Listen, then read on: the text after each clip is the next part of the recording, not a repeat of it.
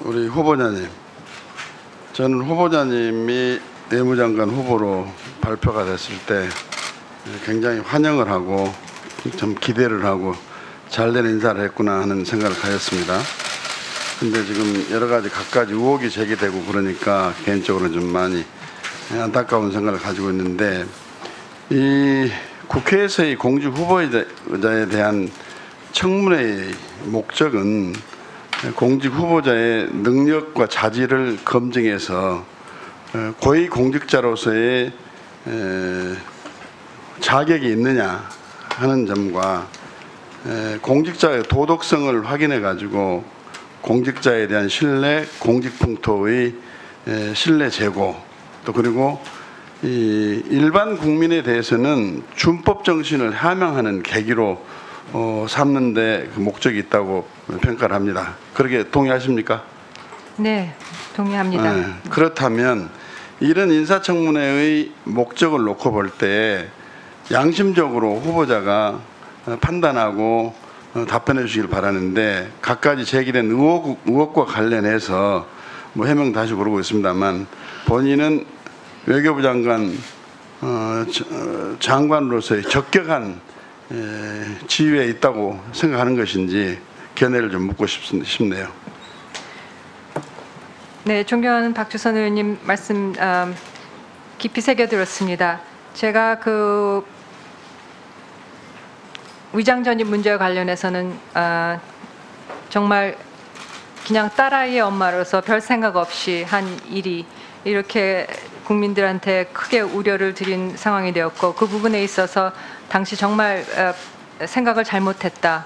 아, 그리고 그 소명하는 과정에 있어서 정말 아, 부족함이 많았다. 그리고 아직도 부족함이 있다 하는 것을 저, 저도 계속 느끼고 있습니다만 제가 기억이 거기밖에 닿지 않기 때문에 정말 더 이상 드릴 말씀이 없는 거에 대해서 어, 정말 송구스럽게 생각합니다. 아, 그래서 그 부분을 포함해서 어, 그리고 제가 어, 그런 어떤 그 저의 그런 어- 도덕성의 그런 어떤 문제가 되는 부분을 포함해서 오늘 제가 답변 드리는 모든 것을 종합해서 어, 판단해 주시기를 바랍니다.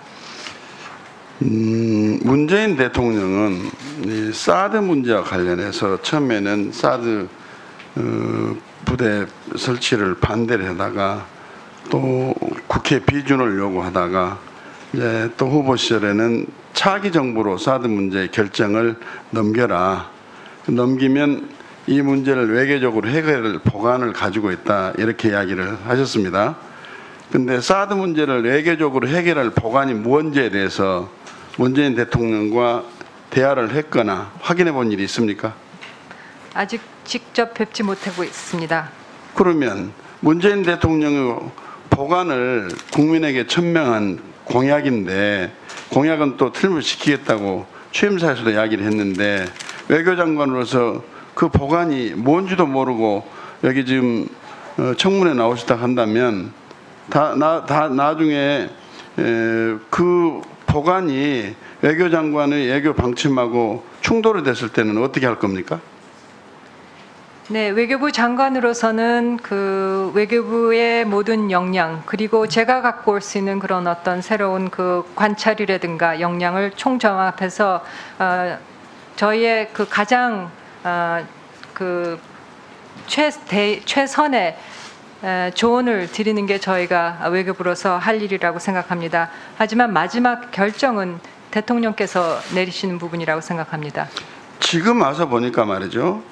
에, 사드 어, 부대 배, 어, 창설과 관련해서 이미 발사대 이기와 레이더가 들어와 있고 통신 음, 시설 그다음에 요원들이 지금 가동이 지금 되고 있는 상황에서 어, 발사대 사기가 추가로 도- 도입이 돼가지고 아직 설치는 안 됐지만 도입 사실을 청와대에 보고 누락을 했다 해가지고 이걸 공개적으로 어, 조사 지시를 하고 이 문제에 대해서 해당 장교를 지금 문책을 하고 그러면서 에, 사드 배치와 관련해서는 전면적인 환경 영향 평가를 처음부터 다시 하라 이런 취지로 지시가 내려간 걸 알고 계시죠?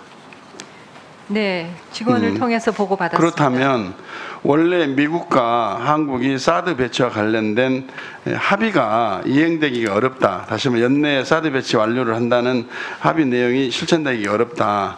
그렇다면 미국 측 입장에서는 어, 결국 한국이 사드 배치와 관련된 당초 합의를 파기한 것이 아니냐.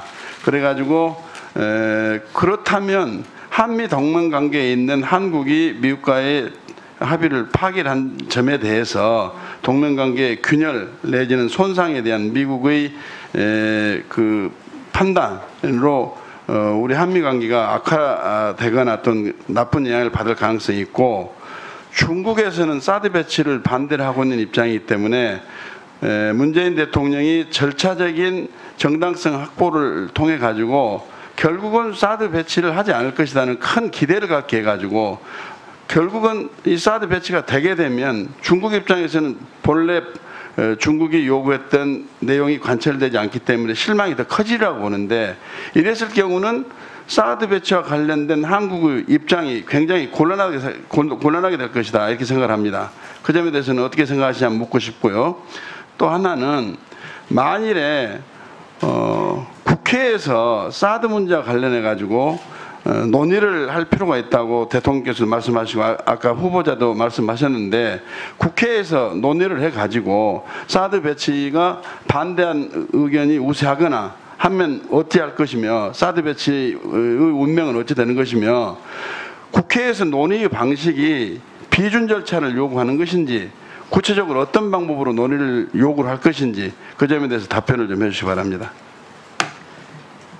네, 지금 이 문제가 상당히 어려운 문제임은 틀림이 없습니다. 아, 따라서 미국과의 그런 어떤 그 우리가 시간이 좀 필요함을 어, 에, 그 협의를 드리고 그렇게 협의를 하고 또 실, 어, 안보실장께서도 어, 많은 협의를 하고 오신 걸로 알고 있습니다. 아, 그리고 중국에 대해서도 이게 북한 말씀하셨듯이 이 이- 우리의 방어적인 수단은 그 북한의 지속적인 도발에 대한 우리의 대응이다. 우리의 안보 이익에 직결된 사안이라 하는 것을 분명히 설명한과 동시에 이로 인한 보복 조치는 부당하다는 것을 지속적으로 설명할 필요가 있을 것입니다. 양쪽에 대한 그 관리가 아주 기- 면밀하고 철저한 관리가 필요한 두 관계라고 생각을 하기 때문에 그렇기 때문에 더욱 더 효과적인 소통 외교력이 필요한 상황이라고 생각합니다. 아, 또 이렇게 상황이 이렇게 된 데에는 이것을 결정하고 배치하는 과정에 있어서 그런 어떤 국민대적인 공감대가 없었던 부분이 아, 이런 문제를 불거지게 한 게 아닌가 그런 생각을 하게 됩니다. 그래서 미국과 그런 어떤 이해를 폭을 넓히고 미해의 일을 하고 시- 하면서 또 중국에 대해서는 우리의 입장을 주- 어, 지속적으로 어, 이해를 시키면서 그 이 국민적인 논의의 그런 어떤 어떤 형태로든 국회에서 논의가 있을 수 있도록 국회의원 여러분들께서도 좀 적극적으로 고려해 주시고 어, 나아갈 방향을 모색해 주실 부분이 있는 것이라고 생각하고 또 외교부로서는 그런 하시는 여러 가지 그 고려하시는 방안 아, 조치에 대해서 그런 어떤 외교적인 함의가 뭔지에 대해서 적극 검토하고 어, 어, 에, 그래 어, 앞으로 나가야 될 부분이라고 생각합니다. 예, 박주선 의원님 수고하셨습니다. 어, 이상으로 위원님